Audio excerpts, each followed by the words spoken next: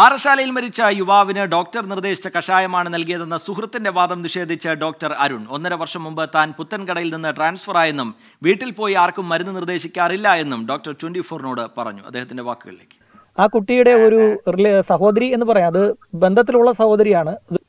അറിയുമെന്ന് വെച്ചാൽ നമുക്ക് ഫിസിയോതെറാപ്പിസ്റ്റുമാരെയൊക്കെ ആരെങ്കിലും ജസ്റ്റ് വന്ന് കാണാനല്ലേ ഉള്ളൂ ഹോസ്പിറ്റലിൽ അങ്ങനെ ജസ്റ്റ് ഓർത്ത് വെക്കുന്ന ഓർമ്മ വരുന്നില്ല ഏട്ടാ അതായത് ഈ നടുവേദന അങ്ങനെയുള്ള കാര്യങ്ങളുമായി ബന്ധപ്പെട്ട് എന്തെങ്കിലും മരുന്ന് പ്രിഫർ ചെയ്യോ? എന്തെങ്കിലും ചെയ്തിട്ടുണ്ടോ? താങ്കൾ നേരിട്ട് വീട്ടിലെത്തി പ്രിഫർ ചെയ്തു എന്നാണ് ഈ കുട്ടി പറഞ്ഞിരിക്കുന്നത്. അയ്യോ ഞാൻ എന്തിന്? ഞാൻ ഇങ്ങനെ ഒരു നമ്മളെന്തിനും ഒരാളുടെ വീട്ടിൽ പോണത്? ഹോസ്പിറ്റലൊന്നും കണ്ടിട്ടുള്ള ഇല്ലെന്ന് അറിയില്ല കേട്ടോ ഓർമ്മയില്ല. ഹോസ്പിറ്റലിൽ വന്ന് ചിലപ്പോൾ കണ്ടിട്ടുണ്ടായിരിക്കും അറിയില്ല. നമ്മളെല്ലാരും ഓർത്ത് വെക്കില്ല ഏട്ടാ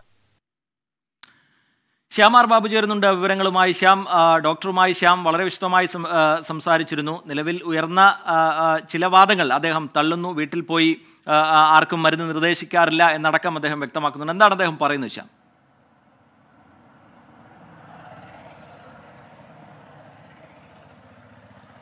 റിജിത്ത് ഈ കുട്ടിയുടെ വാട്സപ്പ് ചാറ്റിൽ പറഞ്ഞത് ഈ ഡോക്ടർ അരുണാണ് ഈ ഒരു മരുന്ന് അത് നിർദ്ദേശിച്ചത് എന്നതായിരുന്നു ഈ കുട്ടിയുടെ ചാറ്റിൽ പറഞ്ഞിരിക്കുന്ന വാദം. ഇതിനെ തുടർന്നാണ് ഡോക്ടർ അരുണിനെ നമ്മൾ അന്വേഷിച്ചത്. ഡോക്ടർ അരുണിനെ അന്വേഷിക്കുമ്പോൾ അദ്ദേഹം ഇവിടെ നിന്ന് ദീർഘകാലം മുമ്പ് പോയതാണ് എന്നാണ് മനസ്സിലാക്കാൻ സാധിച്ചത്. തുടർന്ന് അരുണിന്റെ നമ്പർ ഡോക്ടർ അരുണിന്റെ നമ്പർ നമ്മൾ ശേഖരിച്ചു.